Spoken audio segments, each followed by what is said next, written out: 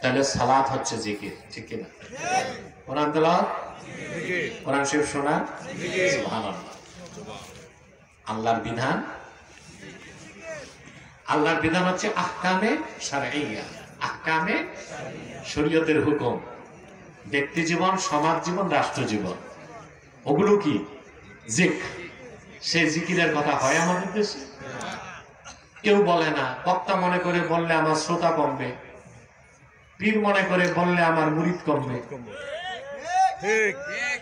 এই ব্যবসায়িক হিসাব নিসাব নিকাশ করতে যাই আর জনগণের অবস্থা বারোটা বাজছে। ঠিক। ঠিক সম্মানিত শুধু এটা হচ্ছে জিক। এটা কি? আরেকটা হচ্ছে ফিক। আরেকটা কি? যেটাকে আপনারা বলেন জিকির ফিকির। শব্দটা হচ্ছে জিক। ফিক। জিকির করলে যতটুক সোয়াব তার চেয়ে বেশি ফজিলত ফিকির করলে। আল্লাহ রাব্বুল আলামিন কোরআন কারিমে মুমিন বান্দাকে শুধু জিকির দেন নাই ফিকির দিয়েছেন।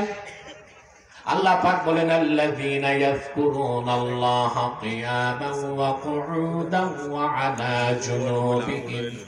ويتفكرون في خلق السماوات والأرض ربنا ما خلقت هذا باطلا سبحانك فقنا عذاب النار আল্লাহ আল্লাহ পাক বলেন মুমিন বান্দাগণ আল্লাহর জিকির করে দাঁড়ানো অবস্থায় বসা অবস্থায় শোয়া অবস্থায়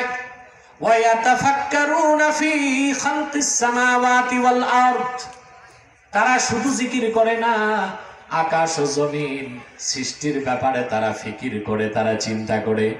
তাহলে মমিন শুধু জিকির করবে না জিকির করবে ফিকির করবে। সুবহানাল্লাহ বলেন। সুবহানাল্লাহ। জিকির করলে হবে জাকের আর ফিকির করলে হবে দার্শনিক এবং বিজ্ঞানী। সুবহানাল্লাহ। আল্লাহ জিকিরও দিছেন। ফিকিরও দিছেন। তবে পার্থক্য কি? জিকির হবে আল্লাহ ফিকির হবে সৃষ্টির। আল্লাহকে নিয়ে আপনি ফিকির করতে পারবেন না এই ছোট্ট মগজ দিয়া। পারবেন? ঠিক। আল্লাহ এত বড় এত পবিত্র এত ঊর্ধ্বে মহান আল্লাহকে নিয়ে ফিকির বা চিন্তা করার কোনো শক্তি আপনার নাই। আপনি চিন্তা করতে পারবেন আল্লাহর সৃষ্টি নিয়ে। সেজন্যই বলা হয়েছে তাফাক্কারু ফি খালকিল্লাহ ওয়ালা তাতাফাক্কারু ফি যাতিল্লাহ। মহান আল্লাহকে নিয়ে ফিকির করো না চিন্তা করো না। আল্লাহর সৃষ্টি নিয়ে চিন্তা করো।